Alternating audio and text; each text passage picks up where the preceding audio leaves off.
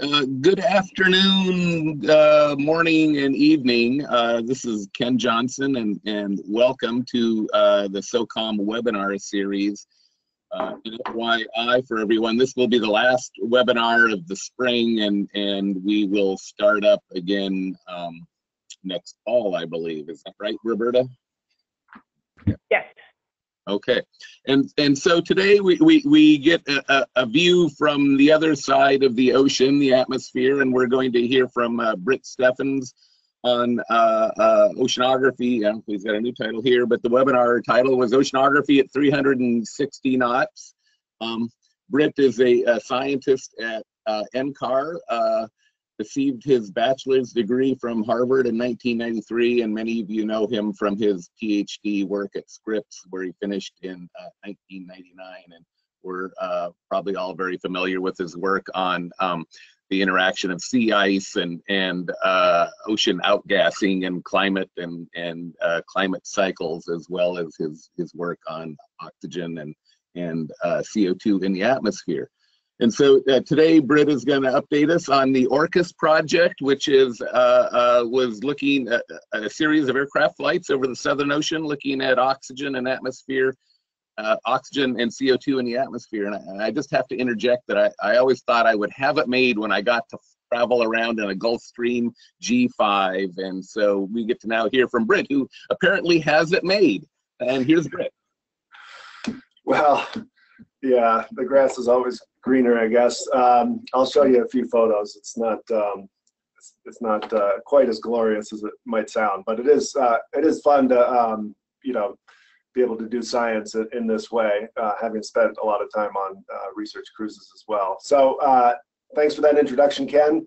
Uh, apologies for accidentally swapping out my title there, but the I am talking about the ORCAS project, which recently completed at the end of February, and we're still, you know, digging out from the uh, volume of data that we've collected, but uh, it was a very successful campaign, and we uh, conducted a bunch of flights over the uh, Southern Ocean, uh, based out of Punta Arenas, Chile, uh, and flying, you know, upwind and downwind of Drake Passage and around the Antarctic Peninsula.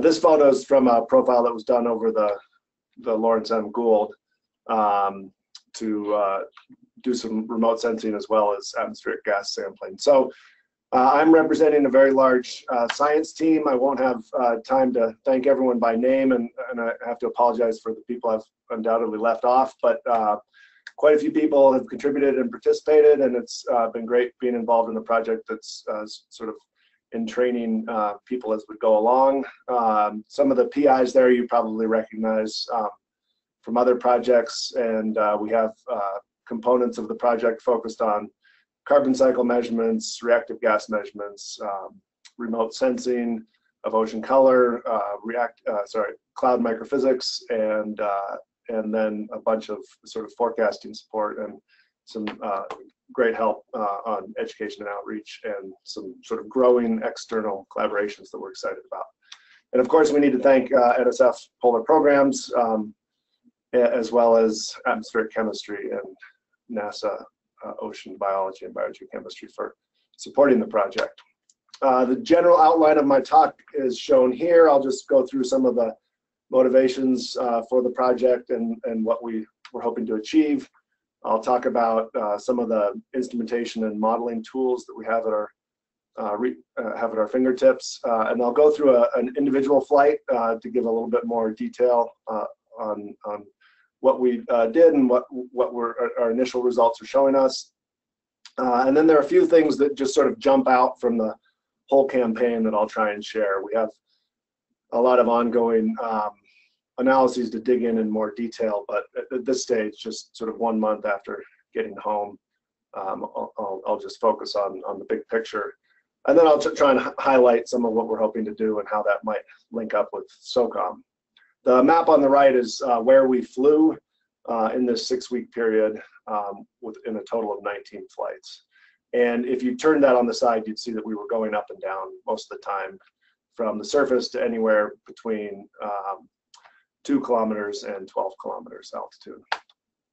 So the motivation for ORCAS uh, is very similar to that for SOCCOM. Uh, you probably could have pulled these first two bullets off the SOCCOM webpage somewhere. But uh, hopefully most people uh, appreciate that the Southern Ocean is an important sink for anthropogenic CO2, and uh, we don't really know how that's going to behave in the future. Uh, and we don't have really the process level understanding necessary to, to make um, good predictions. Um, and that's highlighted by the fact that Earth system models diverge quite dramatically for um, predictions of Southern Ocean CO2 fluxes, uh, as well as oxygen uh, and their feedbacks with climate. Uh, this particular project focuses on uh, oxygen um, primarily because it provides some uh, really unique uh, constraints on the different processes that are influencing CO2 exchange. So the things that we uh, thought about that led us to proposing this project is that uh, there's a need for both, uh, you know, what SOCCOM is doing is is deploying uh, measurements in a long-term fashion that are dispersed over the entire Southern Ocean. So there's of course a really critical need for that, uh, but there are some things you can only learn by going out um, and measuring as much as you can over a short period of time, um, both uh, intensive in time and space. Um, and and with this aircraft, you can actually do really high resolution measurements over a really large area. So both of these things are needed and, and in my view, are quite complementary. Um, the atmosphere, um, when you're sort of used to thinking about oceanography from the ocean, uh, in the atmosphere in contrast uh, provides a very integrated view of air sea fluxes. So uh, you measure something in the air that's been influenced by uh, processes at the air sea interface over a very large area. Um, that's true of surface sites where we're collecting flask samples for different gas measurements, but uh, it's been really hard to interpret the data from the surface sites because of our uncertainties in representing atmospheric transport accurately. And also because those surface sites are very sparse everywhere and in the Southern Ocean they're of course extremely sparse. So uh, an aircraft uh, has the advantage of being able to uh, measure scale, uh, measure signals that represent even larger scales than surface sites and also by going up and down through the atmosphere, we can uh, really overcome these problems with um, the atmospheric transport models, which primarily relate to, to vertical mixing. So this is a picture of the NSF NCAR Gulfstream 5 jet. Um, it, you can see some uh, pylons sticking off the top and the bottom where we suck in air, and there's some probes hanging off of the bottoms of the wings uh, where a lot of the aerosol and cloud physics measurements get done. And this this photo is from an earlier project, but in this project, we had the PRISM uh, NASA ocean color sensor, which looked through a, a hole in the bottom of the G5. So, um, so I mentioned that the models diverge a lot for Southern Ocean um, CO2 predictions. Um, that's true of their long-term feedbacks to climate change, but uh, we can also focus in on the seasonal cycle because that, that is very indicative of sort of process um, level fidelity in the models. You'd hope that a model that you know you're using to project out 50 years is able to get the seasonal cycle right. So the plot on the upper left is from the Anav et al. CMIP5 study, just showing the seasonal CO2 uh, fluxes predicted for the Southern Ocean, and and it's you know complete spaghetti. So um, looking at this plot, you'd think that the models um, really have um, a lot of problems in the processes in the Southern Ocean. But if you stare uh, more closely at it, you can see it's not completely random. What's actually, it actually looks like some of the models are 180 degrees out of phase with the others. Um, so some of them are think, think CO2 goes out in the summer and some thinks it goes out in the winter.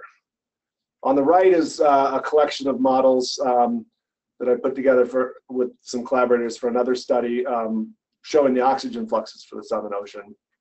And they're at least all consistent in, in general in terms of phase uh, and amplitude, although um, in both of these plots, the thick black line is an observationally based estimate uh, based on measurements in the surface water of either PCO2 or dissolved oxygen. The Takahashi on the left and the Garcia and Keeling climatology on the right. So why is this? Why are the models so bad at CO2 in the Southern Ocean? The lower two plots try to illustrate this. Um, so the blue lines in the lower plots are the same as the black lines in the top plot. So in the lower left is the Takahashi 2009 estimate of CO2 fluxes. This is south of 40, uh, 44 south. And uh, you can use SST to make an estimate of the thermal contribution to the CO2 flux, and that's shown in red. And then you can subtract those to, to infer what the non-thermal component is, which is which would primarily be biology. So what you see for CO2 is that the sort of biological component and the, the thermal component are in direct opposition. And that's because uh, in the summer, which is over here, uh, you're warming the ocean, driving uh, CO2 out from the thermal effect, but you also have productivity going on, sucking CO2 in. And the opposite happens in the winter. So what, what you actually see at the air sea interface is this small balance between two big fluxes. For oxygen, um, it's a lot uh, nicer situation, at least from interpretation point of view. So the um, we use heat fluxes to estimate what the thermal component is of the oxygen fluxes, and and what you see is that the thermal and biological components go in the same direction. So in the summer, you're warming the surface water, driving oxygen out uh, through the change in solubility, and you also have productivity going on that's driving oxygen out um, by the production of oxygen in surface waters. So, uh, uh you know, a 10% difference, a 10% error in the model representation of either the biological or ther thermal component can lead to a 100% error in the, uh, in the balance, whereas a 10% error in either component for oxygen might lead to a 5% error in the total.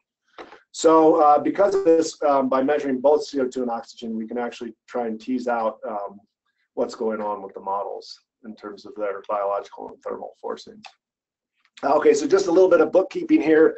Um, and as background, uh, we've been measuring atmospheric oxygen uh, as a community in the atmosphere for uh, almost 25 years. This is the record from Ralph Keeling's laboratory at Scripps um, for two stations, ALERT in black in the northern hemisphere and Cape Grim in red in the southern hemisphere, CO2 and oxygen. So uh, the challenge in measuring oxygen is that there's so much oxygen in the air um, that uh, the relative precision is very demanding, and also changes in other gases can uh, can change the mole fraction of oxygen at levels that that you care about. So it actually turns out that um, to talk about oxygen concentrations in the atmosphere, you, we have to um, it, it's necessary to relate, relate them in terms of deviations in the oxygen nitrogen ratio uh, in order to uh, exclude the influence of of diluting effects of other gases. So the unit we use, if you haven't seen it before, is a per meg.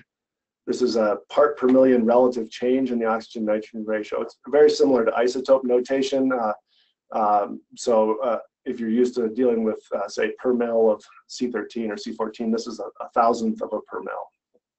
And of course, uh, uh, oxygen is going down in the atmosphere faster than CO2 is going up. And that's because uh, of the net ocean CO2 stink and and I won't talk about that much here, but that's one of the big applications of oxygen measurements, um, is, is teasing those two things out. So we have had some prior observations in the uh, focused observations in the Southern Ocean that I'll go through quickly because they provide important background for our study.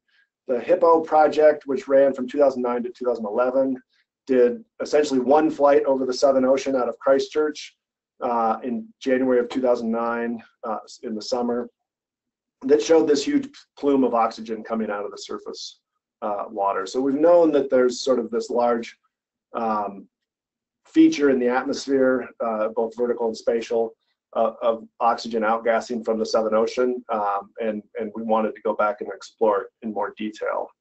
Um, at the same time, uh, Ralph's uh, lab has been measuring flasks from Palmer Station and South Pole. And what I'm plotting on the left here is uh, all of the monthly mean values over uh, 20 years um, with the Palmer measurements subtracted from the, sorry, the South Pole measurements subtracted from the Palmer measurement. So uh, in the top, it's for CO2. Um, and what you see, uh, there's 18 months shown here.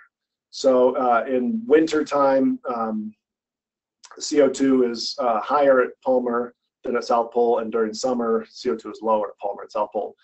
Uh, and the opposite is true for oxygen. Uh, during summer, oxygen is higher at South Pole, higher at Palmer, and during winter, oxygen is lower at Palmer. So, so this is consistent with our general uh, understanding, um, if not with all of those models I showed a few slides ago. And what you see in January and February is this really tight correlation between oxygen and CO2, where you have strong outgassing of oxygen implied over the Southern Ocean and ingassing of CO2. And, and these are shown again in XY space here, oxygen versus CO2 as the red line in the right, um, where the, uh, the collection of models I showed previously, as well as uh, the Garcia and Keeling and Takahashi climatologies are, are underlain.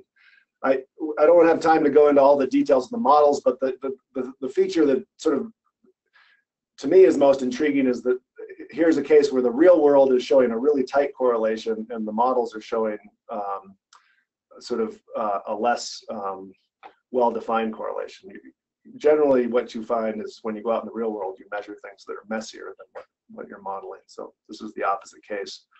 So we've stared at this plot for a really long time and tried to think about what causes a model to be in a very in various quadrants. But ultimately what the observations are telling us is that biology appears to be dominating the southern the summertime fluxes with uh, anti strong anti-correlations in the spatial gradients over the southern ocean. Um, and if you tweak a model, as uh, Matt Long has shown, um, in various ways, you can you can actually get the model to swing into uh, into these other quadrants. So that's sort of the background for orcas, um, and and was the motivation for our measurement objectives. So our primary objective was to map out the large scale plumes of oxygen and CO2. Uh, and then a secondary objective was to measure the ratios between oxygen and CO2 over various uh, spatial scales um, through different vertical extents of the atmosphere across the boundary layer top and through the middle troposphere. Other uh, no less important measurement objectives, but ones that I won't uh, have time to talk about today include uh, attempts to actually directly estimate air-sea fluxes through Lagrangian uh, budgeting flights, where we fly uh, upwind and downwind legs. Uh, a remote sensing component where we had the PRISM hyperspectral remote sensor um, detecting ocean color to uh, help link our measurements to what's going on in the ocean, but also for um, remote sensing specific objectives of algorithm development and um, and uh, teasing things out like the species distributions in various places in the Southern Ocean. Uh, we also had a big reactive gas component looking at um, uh, chemicals important for uh, both ozone and um, cloud feedbacks um, that are produced by algae in the Southern Ocean. And uh, you know, you take a plane like this down to a place where you, there are so few measurements, you want to exploit it as much as you can. So we also put on as many aerosol and cloud microphysics sensors as we could, and we have a, a team of people analyzing those. This is what the inside of the G5 looks like. I, I as in, in response to Ken's comment, um, this is probably the only G5 with beige carpeting and no bar or hot tub or whatever else you get in the G5. Um, it's uh, it's still uh, very nice as far as research aircraft go goes. It's uh, you know not unlike a a research ship, you pack it as full as you possibly can when you're heading out. Um, so we have about 10 instrument racks, sorry, about 10 people on board and maybe something like um, seven or eight racks on this campaign. That's uh, Ian McCubbin, who was running the JPL PRISM instrument. And you can see some uh, one of our whole air samplers, the uh, AWAS system that's um, uh, measuring reactive gases. The thing on the left is uh, GCMS uh, called TOGA that's um, measuring a lot of other reactive gases. My instrument that measures oxygen is back here, and um, and then some other stuff. So the, uh, I won't go through the entire payload, but we had um, redundant measurements of oxygen and CO2 um, from a number of uh, from different sensors and whole air samplers. Uh, and and notably, the CO2 measurements we're deploying are are really um, the highest precision CO2 measurement you can make. Uh, and the gradients uh, are small over the Southern Ocean, but um, by measuring them at this really high precision, we're able to see things we weren't able to see before.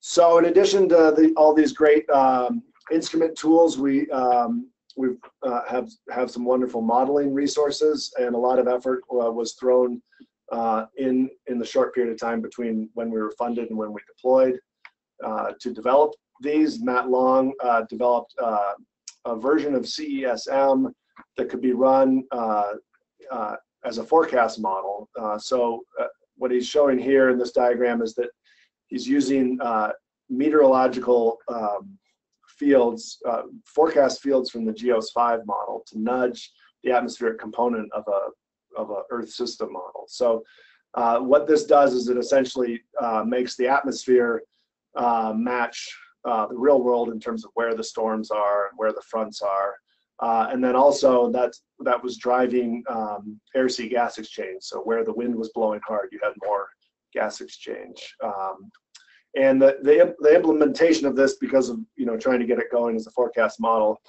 um, is is is slightly distinct from or is is distinct from CESM. So the, the, the results shouldn't be viewed as the same as what you might see in a say a CMIP 5 study. But uh, it, it, was incredibly useful to have this during the field campaign uh, to build up our intuition about what what we might see on a particular day, to target different events, uh, and to think about the processes responsible for for what we were measuring.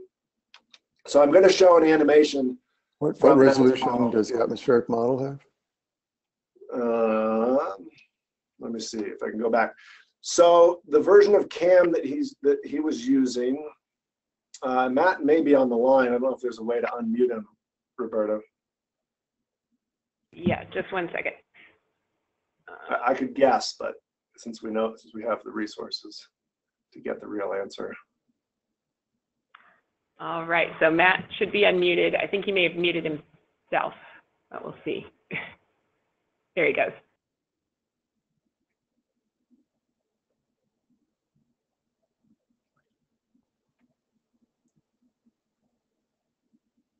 Well, I guess I was just looking I, at some yeah, of I'm your, gonna, yeah, I'm gonna guess. I'm gonna guess it was the one, de- uh, uh, something like a one degree atmospheric simulation, but it's um. Can you, can you guys hear me now? Yeah. Oh, there you are, Matt. Yeah, it's a, it's nominally one degree. okay. So, and we also had, we were also um, uh, working with the AMPS group. You're probably familiar with the Antarctic, uh, I think it might be mesoscale prediction system. It's a, a version of WRF that's run here out of NCAR to support the Antarctic operations. And we had a nine kilometer um, version of AMPS that uh, that was providing uh, weather briefings every day and was, you know, a lot better than other things that we could get for the region and you know also really useful we did not have amps coupled up to biogeochemical fluxes um, but uh, but both of these tools are being used in our post analyses okay yeah feel free to interrupt with questions at any time i what i was going to do with this uh, simulation was actually um, say a few things about it and then uh, invite questions on the first half of the talk um, uh, I haven't shown any measurements yet. It's all been motivation so far, but I, I'm going to get to them soon. But so this is on the top. The colors are the surface or atmospheric boundary layer concentrations of oxygen. Uh, and the black lines are the oxygen fluxes. Um, the positive fluxes are in solid lines, and where fluxes are, sorry, the outgassing fluxes are in solid lines, and ingassing fluxes are um, in dashed lines and you'll see the fluxes um, are daily fluxes. The movie is at hourly resolution, so the daily fluxes sort of jump every 24 frames. And on the bottom is the same for CO2. Um, so at the, the start of this thing, you see a couple large plumes of uh, positive oxygen anomalies, uh, which are matched with negative CO2 anomalies. So I'm going to click play here. If it's not working for you, uh, there's a YouTube link where you can look at the movie separately. Um, so you see the fluxes jumping around. This is in December um, well before we got there. Uh, but you see negative correlations between these anomalies, and and and what's most striking is that um, the distributions are very episodic. You have these large sort of blowups of oxygen and and uh, drawdowns of CO2 over certain regions that then advect downwind, sort of as filaments um, for a period of several days. So it's sorry. possible- Yeah, go ahead. Uh, What is the mechanism for producing these blowouts? Is it an ocean, is it something you're doing to the ocean or something you're doing to the atmosphere? Well, it's both. So we've looked at that, and and it's it's and it's definitely. Um, we actually, I think we might even had some wagers about it during some of our planning meetings because um, what's eh, it, there are several things involved here. One is uh, you know a buildup of oxygen uh, and a drawdown of CO2 in the surface ocean because of you know mixed layer dynamics or blooms going on on the water side. And then with those anomalies um, present, uh, a fairly strong wind event coming along and, and, and pumping uh, oxygen out and the CO2 in. Uh, but if the wind event is, is so strong that you get a lot of uh, vertical mixing in the atmosphere, then the signal is is diluted. So you can also get these sort of enhancements through um, uh, shallow atmospheric boundary layers. So they're, they're both are involved, but but in general, what you see um, is is that you get sort of a front coming through and a large uh, storm uh, or a large wind event that um, that hits an area, a productive area, and and and and that's what and that's what produces these. Wow. So, so the atmosphere is one degree, you said, and the ocean also? Uh, uh, that I'm pretty sure is one degree. Um, Right, okay. Yeah. So Matt has um, a tenth of a degree simulation that he's run that we've looked at for some of these O2 CO2 relationships, but it's of course the spin up is not. Um, Yeah. um, Boy, this is really noisy and, and it's like on 24 hour timescales, right? Each, of- each, Uh, the uh, black lines are 24 hour and the and the colors are one hour resolution. Oh my so you know, yeah, so the fluxes from day to day jump quite a bit. So, um, so, so yeah, I'll, I'll just let this run for another little bit and ask if anyone anyone else wants to ask questions about the motivation or background for the project before I before I move on to what we actually uh, did and saw.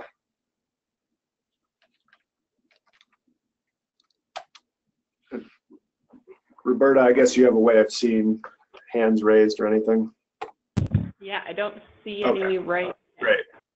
Um, so this is just a screen capture from that movie um, for the 21st of January, a day in which we a day in which we flew. So I wanted to freeze that and and and say a little bit about what we were what we were trying to do. We, for a lot of the flights, we wanted to get these large scale um, cross sections to sort of measure the entire amount of oxygen and CO2 over the Southern Ocean, but we also wanted to sort of at higher resolution target some of these these events. So on this particular day, we flew from Punta Arenas, which if you can see my mouse is right there, uh, down to the marginal ice zone uh, in the Bellingshausen Sea, which was right about in the middle of the bullseye there. And then it did a transect to the north, uh, profiling up and down from the surface to, um, I think around eight kilometers. Uh, and, and we headed for uh, a, a, a point that happened to be the OOI node out here. And we had, uh, um, let me see, I think I have the, uh, yeah, so this shows it a little bit more clearly in uh, map form. On the left is the flight track that we flew. Um, the bright yellow is the marginal ice zone and the red is the pack ice. Um, clouds are shown on here and ocean color where there were no clouds. So we also wanted to, uh, with the Prism remote sensor, um, do some legs out here uh, in the cloud-free region. And of course, it's hard to predict clouds um, anywhere uh, out in the middle of the ocean, but in particular the Southern Ocean. So uh, the we ended up revising the flight plan. Um, Matt was on this flight, so you know made the call to sort of turn around and go back to where the clouds, where the where the clouds were not, so we could get the remote sensing in, and then return to base. So in altitude time uh, space, this is what it looked like. The plane uh, initially flew up to 12 kilometers, did a dip down through the circumpolar jet uh, and back up, and then down to the surface along the ice edge in a series of short profiles. This is um, about 1,500 meters uh, to intensively sample the boundary layer gradients in this region. And then coming back to the north, um, profiling up to six or eight kilometers on the way back, returning to base. So the objectives, I've mentioned a few of them um, in the lower right there, but a large scale survey with some marginal ice zone um, sampling and some remote sensing. So this is what we saw for oxygen and CO2 on that flight. So I'm plotting um, altitude versus latitude. Uh, and the little white dots are the flight track itself, and then the plotting routine is just kind of filling in in between. Uh, but what you see very clearly on the left is this large outgassing signal of, for oxygen um, throughout the whole latitudinal cross section. Um, if I jump back two slides, you can see that what was forecast was sort of a, a, a really high oxygen anomaly on the sort of south of 65 south, but a, a, pretty steep gradient going north. So we saw oxygen high throughout the whole um, whole section. Um, but with different vertical extents and, and, and the greatest amount right over the marginal ice zone.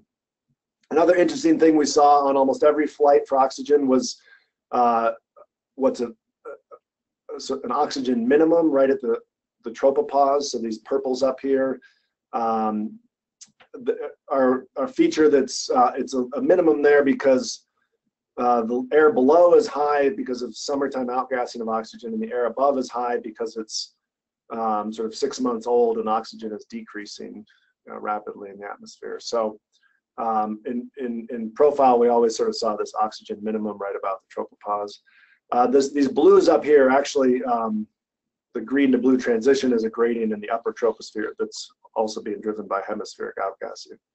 So for CO2, we largely saw the inverse of this with um, strong drawdown signals um, down low and slightly different stuff going on up high. We, you know, we had some in our PI team were even skeptical that we would see, um, you know, CO2 gradients like this because we're so we're so used to um, the signals for CO2 being fairly small over the Southern Ocean and the and the instruments being um, not so precise. But this is the NOAA uh, CU Picarro instrument, which has a very high precision, and we just saw you know really clear drawdown signals in the atmosphere of up to two parts per million. Um, and those can be used to make direct flux estimates, but um, we're also using them in, in, in other, um, in other ways along with oxygen. Uh, this plume in the upper right-hand corner of CO2 turns out to be um, sort of northern hemisphere fossil fuel signature air that's uh, invading the domain from the north um, at high altitude. And the jet is right about here where we did that dip. And so there's sort of a barrier between um, more northerly and more southerly air on either side of the of the jet, um, where the this high CO2 plume, which also had every other pollutant we were measuring elevated in it, um, sort of contained to the north. Uh, and then this low CO2 in the upper left is that's the stratus, low, stratospheric air, which is low in CO2 because CO2 is increasing in the atmosphere or increasing in the troposphere steadily. So uh, they, so in general, you see a really tight anti-correlation between oxygen and CO2 on this flight, where the everywhere where we saw high oxygen, we saw low CO2. Uh, just for the fun of it, I'll show uh, DMS from this flight, which um, uh, you know is involved in uh, aerosol production um, and important for radiative effects. And, and it didn't actually correlate very well with oxygen, but it was very high right over the marginal ice zone. Um, concentrations of of over 100 ppt. Uh, on other flights, we saw concentrations over 300 ppt, and the uh, interesting thing about DMS was that uh, we would go back to the same place on a different day and see, you know, 5 ppt. So there's a lot of variability, and, and, and by looking into uh, more of the differences uh, on those days, uh, we hope to learn learn more about the the processes driving its uh, emissions. Some of the other biogenic gases actually did correlate really well with oxygen, so there's a lot to be learned there as well. Um, so that was what we did on one flight. This is what we did on the entire campaign. So um, all of the white little dots you see here is every single flight from the entire campaign, 19 flights in total, going up and down uh, almost all, all the time. And all I've done is bin the data uh, by latitude and altitude and average it up. So on the left, what you see is the clear outgassing signal of oxygen down low. Um, and on the right, what you see is the ingassing signal uh, of CO2 down low. So one of the first things we can do with, with data like this, essentially the whole campaign together, is just to add up how many moles of oxygen there are over the Southern Ocean um, during these six weeks and how many moles of CO2 there are. And we have um, we have ways with atmospheric transport models to relate, you know, the, the, the measurements we're actually making on individual flight days to what the sort of zonal mean um, uh, average is if you flew on every day is. And it turns out that doing flights like this, you get a very good um, representation of the zonal mean uh, long term or you know every everyday average essentially by flying uh, an airplane over these spatial scales and then averaging multiple days, a lot of the synoptic variability drops out and, and you, you get a pretty good estimate of what's there. So then with those numbers, uh, we can constrain how much oxygen has come out of the Southern Ocean over the preceding um, several months and how much CO2 has gone into the ocean over the preceding several several months. So that's those are numbers that we'll be calculating and uh, using to test uh, to test various models. Um, the other thing that we can do with the entire set of flight data is look at the correlations between oxygen and CO2. And just visually here, you, you can see that um, there is uh, there is a good correlation. The, the oranges on the left match up with blues on the right. But I've gone ahead and made a XY plot of that. Again, oxygen on the y-axis and CO2 on the x-axis. And the solid red plots are all the data below eight kilometers. Uh, in the stratosphere, you see uh, oxygen gradients um, that don't have tight correlations with CO2, um, which is not unexpected. But in the troposphere, uh, oxygen and CO2 averaged over a six-week period are very well correlated, which is, um, I, I wouldn't say surprising, but is somewhat um, newsworthy in the sense that this plot could have been a total shotgun blast. We wouldn't have known until we actually went out and flew what this was going to look like. So the ratio you get if you put a line through that is uh, with an orthogonal distance regression is negative 2.7 moles of oxygen per mole of CO2. So uh, what that number means will be the subject of, of ongoing analysis. But in general, it, it implies that uh, you know biological production of oxygen and, and um, consumption of CO2 is dominating the atmospheric signals over the Southern Ocean at this time of year. Um, and and the slope is uh, because of the buffering chemistry of CO2 is uh, not um, is not uh, too surprising that you get more moles of oxygen out than you get um, moles of CO2 in. There are also big differences in the response times, of course, of air-sea gas exchange for those two gases. So it's essentially an emergent um, uh, product or uh, emergent feature of of the of the uh, of the real world or of an Earth system model, but uh, something that can be used as a as an important test of of, of the model. So we'll be um, calculating this from ESM as well as um, other models that we we have on hand. Uh, so thinking more about where does you know where does this uh, ratio come from and why is it so well correlated? Uh, Matt made some plots from the forecast model of just um, the same thing, but for um, for sort of every grid box in the model over the eastern uh, South Pacific, the eastern Pacific sector of the Southern Ocean. And what you see on an individual day is something uh, that can be quite different. So this is just four different days from the campaign. January 15th, January 20th, which was the day before that flight I showed, February 15th uh, and February 25th. And uh, and, and the plot, so the day before with that particular flight we showed, you see something that looks a little bit like the all campaign plot, which is, you know, this strong anti-correlation um, over a fairly large range. The, the white, the points are colored by altitude, so the white points here in the stratosphere. And this is just for the ocean component of the model. So it doesn't include um, smaller influences from land or um, fossil fuel fluxes coming in from the north.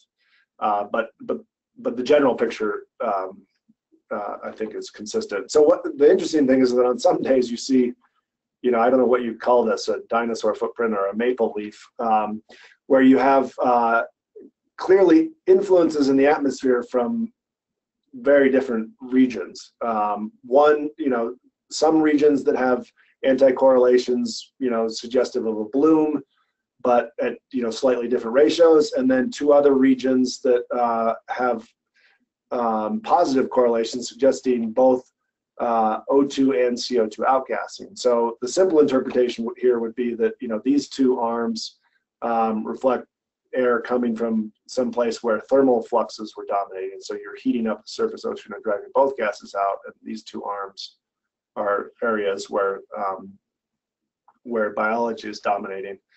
So having the SOCCOM floats out there in different regions um, will be very will be very useful um, to try and tease this out. The, the model runs that Matt has done, you know, suggest that um, the CO2 and O2 fluxes sort of taper off uh, at different times in different um, latitudes. So there's things going on in the northern part of the domain that are quite a bit different than the southern part.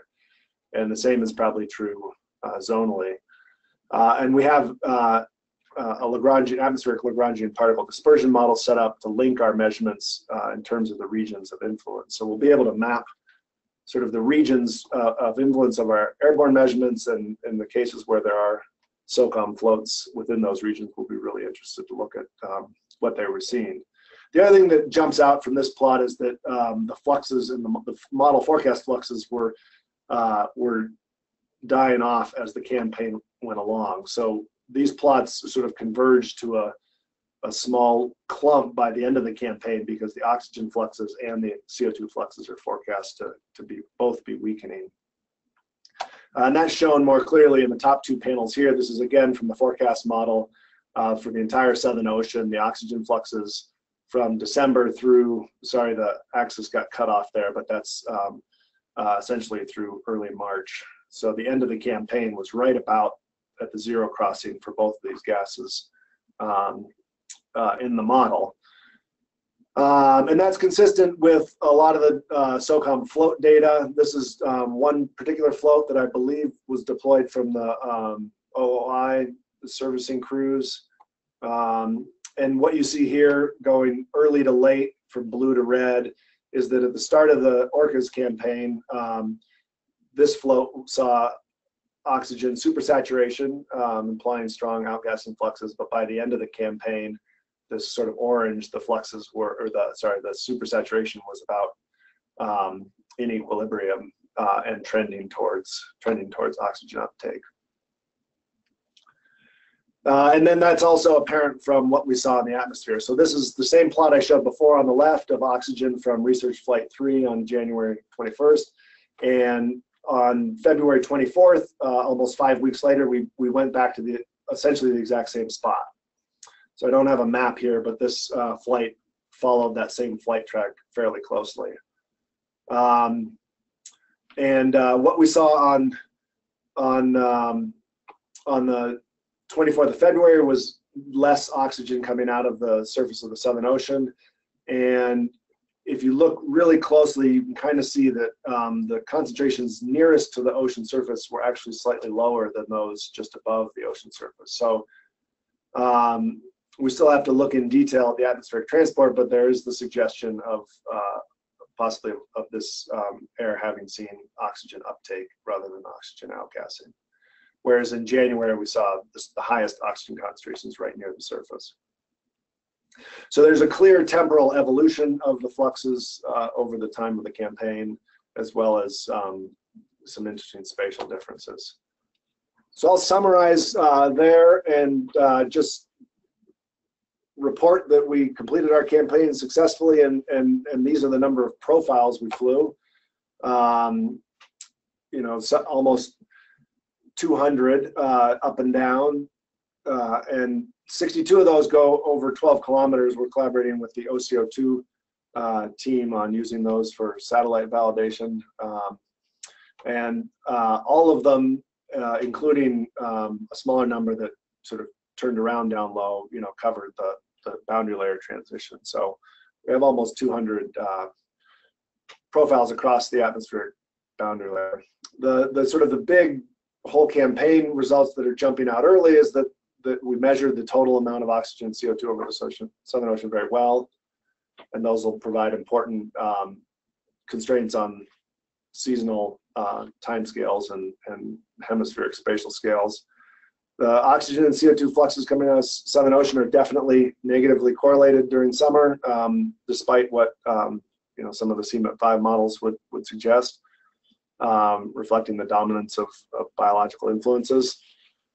And the evolution of these spatial, dis the evolution of, of the total amount and the spatial distributions will be um, very useful uh, as we get further along in our analyses. There are many other uh, exciting results coming out of the reactive gas remote sensing and cloud microphysics measurements we made. Uh, but unfortunately, I didn't have time to talk about those today. Um, and we see a lot of opportunities for uh, collaborating with uh, others doing measurements in the Southern Ocean. This is just a, a quick list of the, all of the synergistic things going on during the ORCAS campaign. There were the SOCCOM floats out there. Um, we were linking up with the LTER crews on the Gould uh, that had um, the normal LTER measurements as well as Nicola Cassar's delta O2 argon measurements, PCO2, DIC nutrients, and atmospheric oxygen CO2 all going on. Palmer's been collecting flasks, of course, for a long time for oxygen and CO2. We did fly over the OOI node. Um, and there were a number of biogeochemical gliders deployed, and of course, the OCO2 satellite. So just a few things um, to finish with in terms of um, what we hope to work on with the SOCCOM team. Um, one is just exploring these O2 and CO2 flux um, fluxes and ratios um, from the float com from combining the float data, the model, and the atmospheric observations. And a big sort of, um, I think, uh, uh, sort of icing on the cake to look forward to in a few years will be when the SOSE estimates are up for this time period uh, to run them through an atmospheric transport model and do direct sort of validation of the of the of the state estimate fluxes. And I'm sure there are a lot of others that we will uh, be able to come up with in collaboration. So I'm just going to uh, play a movie uh, to finish up uh, to give you an idea of what what it's actually like to do these flights and um, I'll talk for a few minutes about what's going on and then I'll stop talking and invite questions. So this is that flight I showed, Research Flight 3 out of Punta Arenas. So you saw a bit of land there. That was uh, um, Tierra del Fuego, I believe. And the forward-looking camera on the G5 uh, ices up frequently when, when you go through icing conditions, but um, at least during summer down there, the ice uh, is not the ice aircraft icing is not a huge problem. So there right now there's a lens of ice on the camera that will slowly um, sublimate away, uh, improving the, the sort of focus. So we're climbing out of Punta Arenas, heading south um, and heading to um, something like 40,000 feet or 12 kilometers. And I will just uh, speed this up a little bit to get to what so to get to the sort of Bellingshausen Sea where we started descending. So let me see, here we go. So now we're going to do a series of um, of low, uh, what we call porpoises, down to the surface of the ocean um, and back up to 5,000 feet three or four times. You can see on the plane a couple of the just standard aircraft pressure temperature sensors, but the things we sample from are back. So here we go down into the boundary layer um, at our southernmost uh, point. Um, lots of pretty icebergs around. And it really does, you know, of course this is sped up, but it's, it really does uh, feel like you're flying, um, like you're sort of water skiing down there. Um, we typically went to about 500 feet, but we would go lower if the um, boundary layer was really stable and we wanted to dip into it. And um, 500 feet felt really low at, at those speeds. Um, but the nice thing about doing these flights and riding along on the plane is that you, you know you get this really intuitive sense for what's going on because you can watch all the signals being measured in real time. You feel the plane start to bump, and so you know immediately you're in the boundary, the atmospheric boundary layer, and, and then and then soon after you see all the signals on the oxygen and CO2 sensors jumping. Um, there's another nice icing event. So the um, the cloud microphysics people, of course, love this type of stuff. Um, and they're just, it's not possible to avoid clouds uh, in this part of the world. So we sampled quite a few of them. Um, so now the plane's going to do a series of profiles to about eight kilometers on the way back. So maybe I'll just let this run and, and ask if there are uh, questions.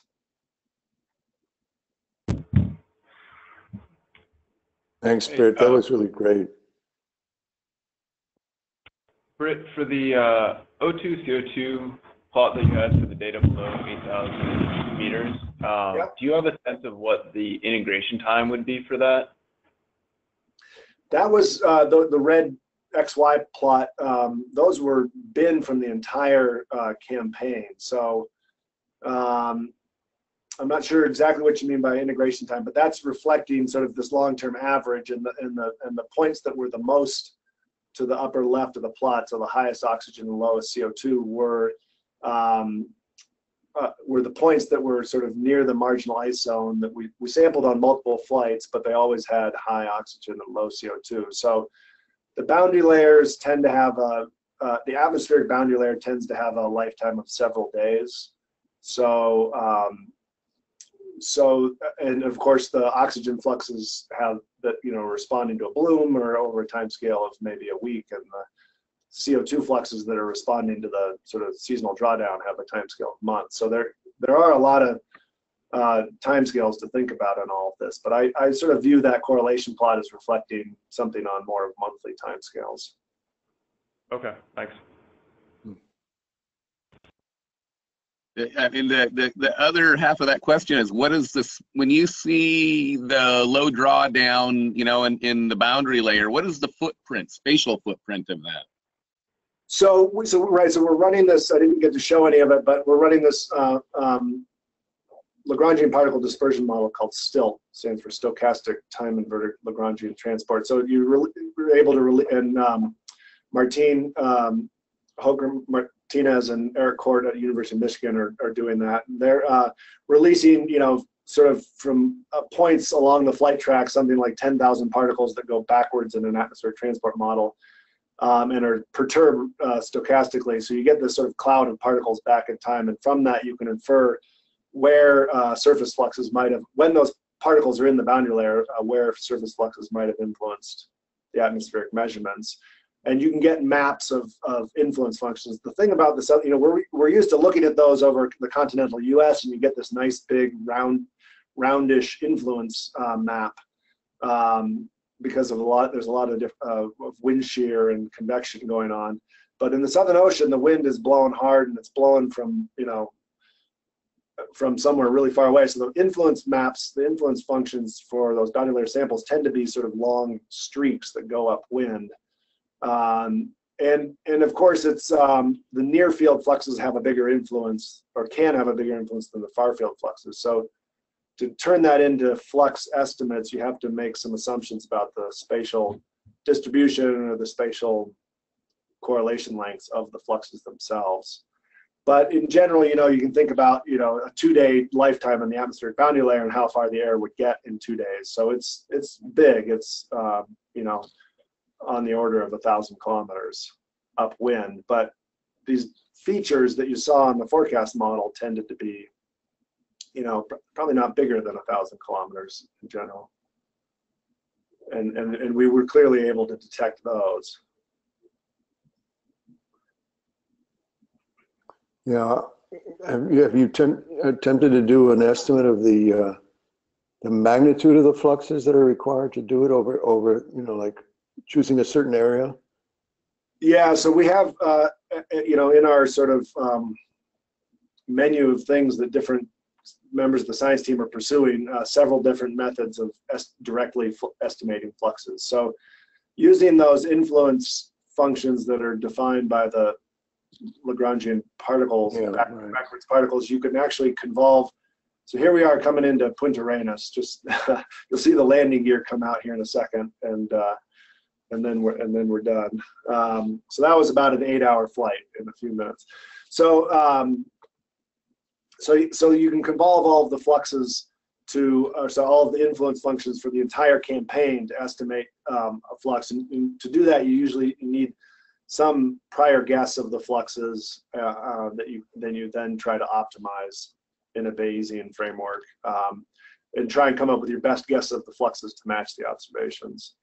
Um, so we'll be doing that, and then we'll also be doing that on individual flight days. And there were a couple um, flights in particular uh, where um, where we did um, specific Lagrangian studies. So this flight over the Patagonian shelf, where of course the um, you know chlorophyll A from space is really high, um, all you know all summer long. Uh, we did a, a, an upwind fence and then uh, did some remote sensing for a few hours and then did a downwind fence. Um, and and you can see evidence of gas exchange in between those two points. So that would give you a flux estimate for a particular patch of the ocean on a particular day. Uh, we also did two flights towards the end of the campaign um, where we did an upwind fence um, in the region of, uh, that was that uh, last flight I showed, RF-17. It went back down here towards the uh, Bellingshausen Sea and came back up. And then um, the next day we went out and flew a downwind fence over here by Elephant Island um, and tried to measure the same air a day later. Uh, and that'll support some measurements, some estimates of the fluxes in between. That was, of course, at a time when the fluxes were quite, um, quite a bit weaker than earlier in the campaign and possibly um, sort of reversed. So, um, so it, it'll be interesting to see what um, what sort of precision we can get on those fluxes. But it's the type of thing that's never been attempted from from the air for these gases, or for- over the ocean for these gases. It's done quite a bit over land. It'll be really interesting to see if those uh, fluxes that Seth sent you are anywhere in the right order of magnitude to give you what you're observing. Doesn't, initially, it doesn't seem like it, does it? That um, you mean that the model fluxes match up? Yeah. Well, they're so not I was gonna model. point out no, I mean, Seth's aren't models. No, no, right, right. Okay, I wasn't sure if you were referring to Matt's model or, or the. No, no, I was referring to Seth's stuff. Oh, yeah, I guess I would, res- to respond to both, or to, to finish my thought on the model was that the, um, Matt's forecast model did a really good job of, of predicting where these, uh, events would be. There were times when we flew, you know, somewhere where, um, the highest oxygen was observed, you know, over as a filament that was blowing downwind from somewhere else. And so it was, the spatially, it seemed to be doing a, a, um, a really nice job. The magnitudes are not um, the same. So the model, the magnitude of the model oxygen and CO2 anomalies um, differed quite a bit from observed. Um, yeah, so I've, I'm looking forward to looking uh, more closely at the stuff that uh, Seth is working on and the plots he's already shared. Um, and thinking about sort of what the, um, yeah, what, whether they're consistent with what we think we would see for fluxes or not. Well, of course, the model can play an important role if we're able to sort of um, get what we think is a reasonable estimate of what the fluxes might have been from the model. We can do sort of direct comparisons to both um, the atmospheric measurements in one direction and the ocean uh, floats in another direction. Oh, just, just to throw out a question or a comment. I've got So to in the- run. Um, Thanks, Jorge. and my wife for dinner. Thank you, Britt. Really Yeah. appreciate it. That was great. I'll Bye-bye. talk to you soon. So just a quick, a quick comment that, that one, one thing that came, became clear in playing around with, with perturbations with the NEMO model is that um, perhaps the large intraseasonal variability you can see in APO, in the Palmer Station data and also in the Japanese data. Um, so I would say, I would infer, at least it's a plausible idea from, from sensitivity studies with NEMO that, that the intraseasonal variability that you see is, is, um, is a result of, of sheer turbulence in the ocean rather than, you know, tur- turbulence from eddies. And I think that categorically the models are pretty bad at doing that. I don't even, I don't think, I think even with the simulation that SOSE won't, you know, won't get that.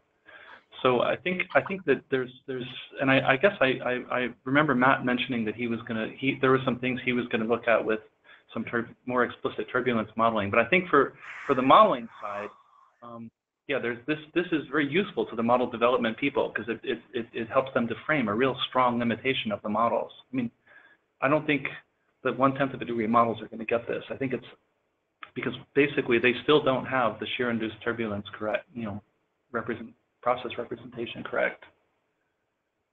Yeah, th- thanks, Keith. That, um, that's a really good point and something I hadn't, um, you know, when I see a tenth of a degree model, I think, wow, that's, you know, amazing. It's gotta be, um, you know, it's gotta be right. So, uh, so the, uh, the thing that, you know, we had Matt, uh, Mazloff was out for one of our science planning meetings. We talked a bunch about, um, SOSE and how, you know, you know, how the fronts may or may not, or the eddies may or may not match up. Um, I think, you know, even if you don't think they're going to be in the right place, um, a lot can be done just looking at um, sort of scales of variability. We have this data set from the atmosphere, and you can um, you can analyze it in terms of uh, the scales of variability of oxygen and CO2. And if you know, obviously, if you throw a one degree model at this, it's going to um, for the ocean or the atmosphere, you're, you're going to be smoothing out a lot of a lot of the real variability. Um, uh, and then, you know, there's a lot of interesting stuff that uh, Matt Long has been looking at in terms of the evolution of the flux, sort of north and south of the polar front, and what you know what drives um, what drives sort of the net production to you know collapse at different times in different simulations. And uh, he, you know, as you go, just you know, given the caveats on spin up, uh, you know, at the 10 degree simulations that he looked at had, you know, just completely different temporal evolution of, of productivity that I think he was suggesting was related to um, iron supply to the ring boundary layer being different. But again, if, you know, so what resolution do you need then if 10th is not good enough? Well, I mean, it, it, it- it could be that, that, um, a better understanding of things like the, the, the way, um, inertial oscillations work in the ocean or different, I mean, there's, there's process understanding that you, the struct, the seasonal structure of the boundary layer in the, in the ocean may be, um, somewhat independent of the, of the, of the horizontal resolution problem. So, I mean, but uh, just, just to, just to turn this more to the, a little bit to the data side. So let's, let's assume for the sake of argument, it does turn out that, that, that, um, that, you know, episodic events, storm, storms coming through and forcing shear-induced turbulence to, to mix, you know, to, to, to de-stratify the, the, the planetary boundary layer. It's sort of the opposite side of what you get with eddies. So the question there would be, with, on the Argo side, what, are, are, is the current sampling of the Argo floats able to, I mean, how, how often do they resurface? Or is it, is it, would you, would you be able to follow sort of the response to a storm of, of an individual, you know, float? Would a float be able to track? Or, or is, is, is it sort of time to be too, is, is, is it just tracking a different temporal scale, focused on the seasonal cycle or something? Yeah, they're on 10-day cycles right now, and um, I don't. I mean, given the short-term variability that you saw in the model output that you showed, I think you'd be hard-pressed to capture that with, you know, individual events with floats. Maybe on average, you, you get the seasonal signal, but um, that might be, you know, a combination where, where SOSE really could come into play. So, so is it, is it possible if, if, if, if coordinating with somebody like Britt, basically, if you could say, is it, is it possible with one of the, one of the Argo floats to, to actually go in and override the, the time of, you know, the vertical migration and to sort of, if a storm is coming through, to monitor that, or? I wonder if that would be, I wonder if there's an interesting I- way of, I, I think that sounds like a great idea, not knowing anything about the, um, the, the, the operation of the, uh, the, uh, the floats themselves. But we did, you know, we did chat with Matt and Lynn and Ken uh, before ORCAS because, you know, they were, uh, you know, uh, really uh, great about getting some extra floats out in uh, before our campaign. I think some strings had to be pulled there. So that was fantastic. But one of the things that we'd also sort of inquired about was, um, you know, could you maybe program them to go up and down every few days for the first you know couple weeks of their life and then go go to this 10 day cycle? And i think that you know operationally that was not feasible so there may be challenges to this but you know just thinking ahead um, you know a proposal or something to you know try and configure a particular float for i think you know we did think about trying to structure some flights around this idea of watching a, a wind event come through and then seeing how the system sort of relaxed over several days and operationally didn't really work out from a flight planning point of view to, to fly um, like that. We, we probably caught some of that just by accident by flying when we did for other reasons. But um, but yeah, to program a float that you could say, okay, here comes, you know, the float is coming up on its 10 day cycle and it happens to be right where there's forecast to be a big wind event tomorrow. So let's, when it's up, tell it to do a profile every day for five days or something. I, I don't, I don't Yeah. even know if that's feasible, but I like the No, idea. the thing, the, just, I, I I won't go on and on about this, but the, the thing that's actually kind of, why, the reason it might be good to, to have that as a more organized, organized kind of, you know, this process question is because not all storm, there have to be the resin, I think it's in the Large papers from the nineties, the Large and Crawford papers, but you have, not all storms will have the resonant frequencies, if inertial oscillations are important, that are gonna excite this kind of vertical mixing. So the storm has to have particular resonant frequencies in it that correspond to, you know, the, cor- basically the local dynamical, um, the, the, the local dynamical system. So, so you would, you would, you know, I don't know whether it's from, from, from Bill Large's papers, it's not clear whether one third of the time or nine tenths of the time you're going to get this resonance and mixing.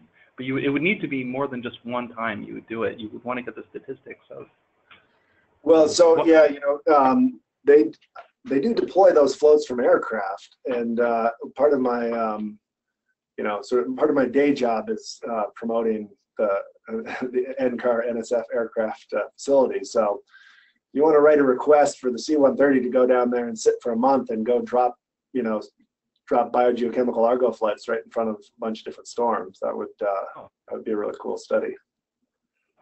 Yeah. it, it is is technically feasible. It's it you know kind of you can make we can make the float cycle once a day, once every 12 hours if is about the limit, but it you know impacts the lifetime of the float and the overall SOCCOM objective of getting the really you know the the interannual and and seasonal variability. But you know it could be done. Yeah, that's why I thought probably an add-on proposal would be in order. So do we have any other questions? I don't see any hands raised. It's super talk. I enjoyed it. Thanks, Ken. Thanks, everyone else. Thank you. This is our last webinar, like Ken said, so we'll see everybody in the fall. Bye-bye. Bye-bye. Thanks, Britt. you know,